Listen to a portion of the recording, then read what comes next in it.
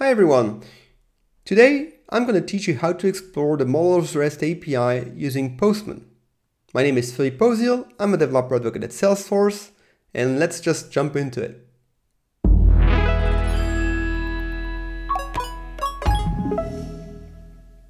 First, we're going to take a look at what the Models API is. Then I'll give you a brief introduction to Postman and the Salesforce API's collections. Then we'll prepare our Salesforce collection for the Models API, and finally we'll run some requests using the collection against the Models API. The Models REST API connects custom third-party applications to the large language models, or LLMs, through the Einstein Trust Layer. The Einstein Trust Layer is a set of features that protects the privacy and security of your data with features like dynamic grounding, zero data retention, and toxicity detection. With the Models API, you can run AI prompts either standalone or as part of conversations. The latter capability is interesting because it provides additional context to prompts. You can also create embeddings to train your model or provide feedback to generated responses. Let's dive into the Models API with an API client.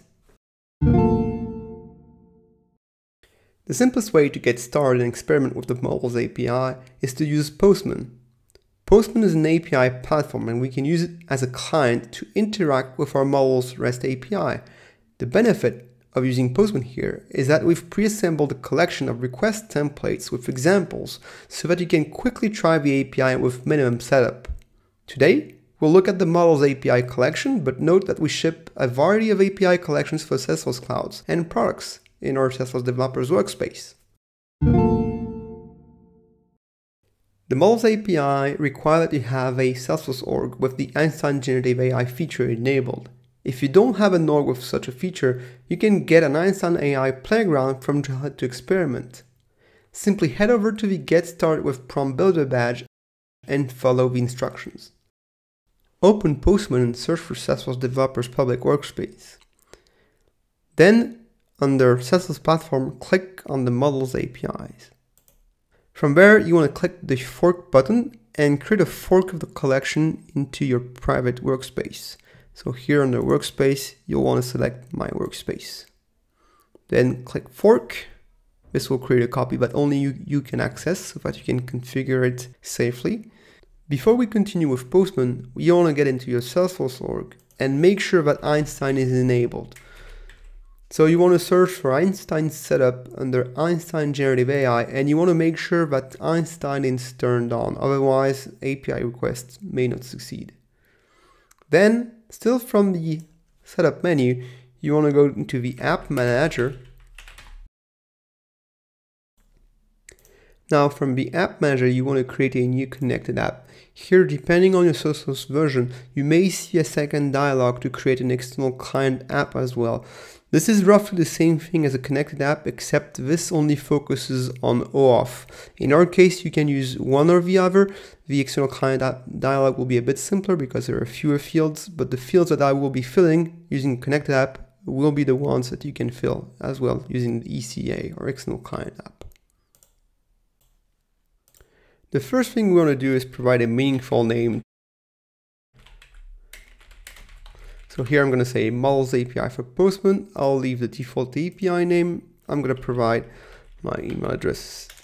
And then we can ignore the rest. We want to toggle OAuth settings on.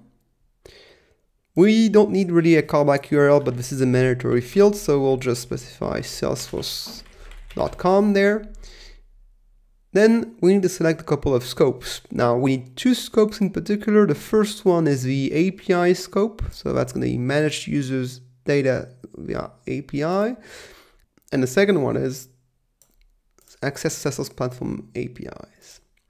Now, if you read the documentation, you may find a third scope. We won't need this one in Postman, but there is a perform request at any time, refresh token and online access. This is only useful if you work outside of Postman. Next, we need to enable the client's credential flow, and I want to confirm that. And we want also issue JSON Web Token or JWTs as well. Right. Now we can save our app here. Sometimes you may need to wait a bit for the app to be created before using it in Postman. So I'm going to click continue. Now I want to configure the default user used in my app. So I'm going to go in manage. I'm going to go in edit policies. And from, from the bottom, under client credential flows, run as, I want to select my user. So I'm going to pick my admin user here and I will issue a JWT for this user. So I'm going to check that box as well and then save. Now our app is almost ready. The last thing we want to do is get the consumer details so that we can configure our uh, collection in Postman. So I'm going to go back in App Manager. I'm going to reopen my uh, Models API. I'm going to go in here and go in View. And here I'm going to click on Manage Consumer Details. Now this generally triggers a two-factor authentication, so you'll be getting a code on your email address. Now you'll notice that I have blurred these sensitive information. The consumer key and consumer secret are very sensitive, so make sure you do never share them because this basically grants access to your org. So you'll want to copy the consumer key and the consumer secret, and we're going to put them in Postman. So I'm back in Postman. Make sure that you select the root of your collection go into variables and here we need to configure a few things. We'll be working with the current values for the collection variables. The current values are only kept in your private workspace. If you make in the future a pull request or make a collection public, anything that is an initial value may go out publicly. So you want to make sure you stick to current values for now. What we'll do is that we'll copy our consumer key in the client ID field and we'll copy our consumer secret in the client secret field. All right. Now the next thing that we need to do is to fill the auth domain. To do that, I'm going to go back to my org in setup, and this time I'm going to look for my domain. From the my domain dialog, you'll have your full domain URL and you want to grab this domain, copy it, and paste it into the auth domain variable. Now that you've done, you have values for all of these variables. You could uh, decide to change the model name variable. The Models API work with a variety of LLMs supported by Salesforce. This Postman collection is configured to use GPT 3.5 Turbo by default, but you may pick the API name of any model from the list of supported models, save it in the model name collection variable to use another model. Now don't forget to save your collection variables, and that's it. Congrats, you're done with setup. Let's now try the API. Now we can head to the authorization tab and get a new access token by scrolling to the bottom of the page and clicking this button. Now, if you did everything correctly, you should see this green checkbox here. What this means is that the uh, authentication call was successful. Now, do remember also that you may need to wait for up to 10 minutes after you create the connected app for it to be available. Also, if you made a mistake in the collection variables, typically in the connected app consumer key or consumer secret, you may get an invalid grant error message. So make sure you review those carefully and also make sure you've saved those, your variables. Now, don't forget to click use token here. This will close the dialog and we can move forward. Let's start and run a first API request. We'll just try the basic one, generate text which is simply sending a prompt. So everything is already pre-filled and you want to head over to the body sub tab and by default the prompt is what is a REST API. Of course feel free to change it as you want and when you're ready click send.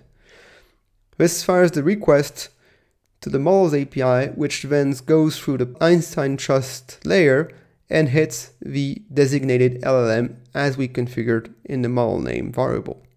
And then we get a response. Here you can see the response of our LLM describing what a REST API is.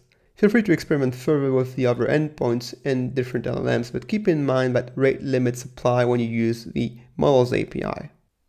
And that's it for this quick take. Today you've learned about the Models REST API and a bit about Postman as well. You've set up the collection to interact with the Models API, and you run a couple of requests. Now I'm going to leave you with some extra resources so that you can continue your learning journey and maybe run a few more requests on the model APIs. Thanks for watching. I hope you enjoyed this video. Make sure to like it, to subscribe to our channel for great content like this. Bye for now.